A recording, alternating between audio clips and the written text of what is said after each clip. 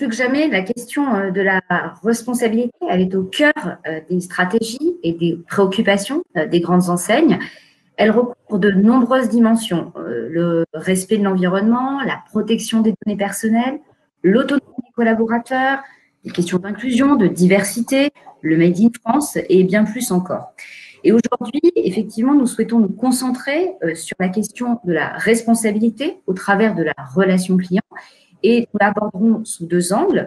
Nous nous intéresserons d'abord à la capacité des marques à inciter leurs propres clients à avoir une démarche responsable. Et dans un second temps, nous nous arrêterons euh, un petit moment sur la question de l'autonomie des collaborateurs au service de leurs clients.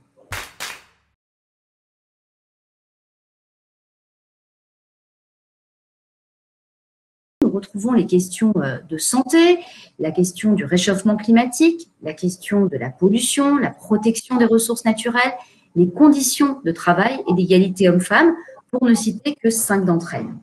Donc, on voit effectivement, c'est important de pouvoir inciter donc les clients à avoir euh, une, relation responsable, une démarche responsable. C'est important aussi pour pouvoir les engager, que ce soit en résonance avec leurs propres préoccupations sociétales. Mais ce que cette même étude nous apprend, eh bien, c'est qu'il est attendu des marques aussi qu'elles aient des activités, des engagements concrets sur des sujets qui soient en lien avec leur propre activité. En effet, vous voyez le chiffre ici, 83% des Français déclarent qu'elles attendent de ces entreprises eh bien, des engagements concrets sur des sujets en lien avec leur propre activité, contre seulement 54% pour des sujets plus généraux. Du coup, l'enjeu, effectivement, c'est de pouvoir raisonner par rapport aux préoccupations des Français, tout en étant aligné et en résonance avec ses propres valeurs en tant qu'entreprise, avec son propre ADN. Alors, quand on pense à ça, euh, on a déjà quelques initiatives en tête euh, que nous pouvons citer. On pense par exemple à Decathlon qui a pu euh, mettre à disposition une application de coaching sportif pour aider justement à faire prendre soin de sa santé.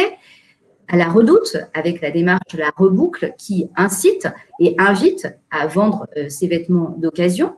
Ou encore à Leclerc qui incite fortement également euh, à acheter du Made in France. Comme Karen le soulignait, il y a cette autre facette hein, de la responsabilité en relation client qui est celle de bah, tout simplement de l'exemplarité des marques, des entreprises vis-à-vis de leurs propres équipes, de leurs collaborateurs. Ce qu'on a pu mesurer, c'est que ces collaborateurs, ils attendent ce cadre, ces marges de manœuvre qui vont leur permettre d'être autonome et puis d'aller au-delà des attentes de leurs clients, hein. seulement 17% estiment qu'aujourd'hui, c'est réalisé de façon excellente euh, dans, le cadre de l'entreprise. On a euh, plus de, 8 euh, personnes sur 10 dans l'entreprise qui attendent encore un travail, un effort sur le cadre et les marges de manœuvre dont ils disposent. Peut-être pour poursuivre, on, voulait partager avec vous quelques dimensions de ce que cela recouvre euh, vous avez par exemple tout ce qui est autour des valeurs, des engagements de l'entreprise qui va promouvoir la confiance, le lâcher-prise, le droit à l'erreur.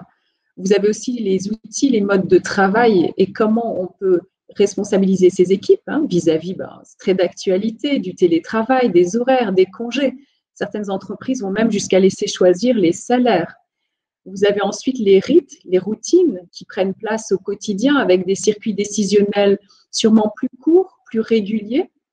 Évidemment, le cadre managérial qui va instaurer la confiance, transformer le rôle du manager vers plus euh, un, rôle, on va dire, d'influenceur, de soutien, de coach. Et puis enfin, la formation qui va viser à plus de polyvalence ou les indicateurs de performance qui sont euh, de façon souhaitée beaucoup plus sur les résultats que sur les moyens. Donc, ce sont quelques-unes des, dimensions qui vont permettre de promouvoir l'autonomie dans l'entreprise. On est euh, au début du chemin, mais avec beaucoup, beaucoup de, marques qui s'illustrent euh, aujourd'hui. On a pris quelques exemples comme chez Air France ou au Ritz-Carlton, les, conseillers, les collaborateurs, les stewards qui disposent d'un budget annuel qui leur permet à tout moment de faire un, geste attentionné envers un client, de lui renvoyer un petit cadeau, de, souligner euh, peut-être par rapport à un irritant qui a pu avoir lieu sur un voyage, euh, de faire un, geste. Et c'est à leur main, c'est leur budget, c'est à la fois euh, leur responsabilité, leur fierté aussi d'avoir cette autonomie. On a chez Blablacar euh, pour l'heure beaucoup de concertation participative des collaborateurs autour des modes de travail, du télétravail, des horaires, de comment ils veulent s'organiser, qui plus est dans ce nouveau contexte post-Covid, pour euh, à nouveau euh, partir à la source et responsabiliser les équipes sur, sur leur façon de, de faire.